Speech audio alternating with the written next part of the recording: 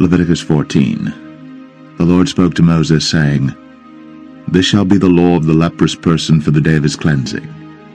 He shall be brought to the priest, and the priest shall go out of the camp, and the priest shall look.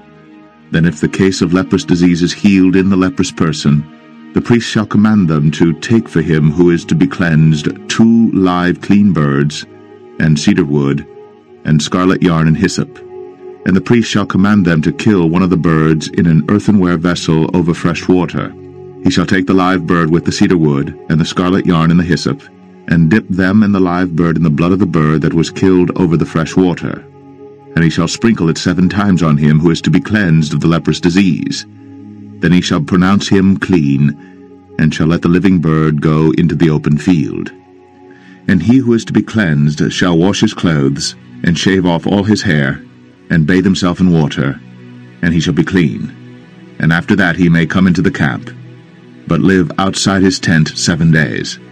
And on the seventh day he shall shave off all his hair from his head, his beard, and his eyebrows. He shall shave off all his hair, and then he shall wash his clothes, and bathe his body in water, and he shall be clean. And on the eighth day he shall take two male lambs without blemish, and one ewe lamb a year old without blemish, and a grain offering of three-tenths of an ephah of fine flour mixed with oil, and one log of oil. And the priest who cleanses him shall set the man who is to be cleansed, and these things before the Lord at the entrance of the tent of meeting. And the priest shall take one of the male lambs and offer it for a guilt offering, along with the log of oil, and wave them for a wave offering before the Lord.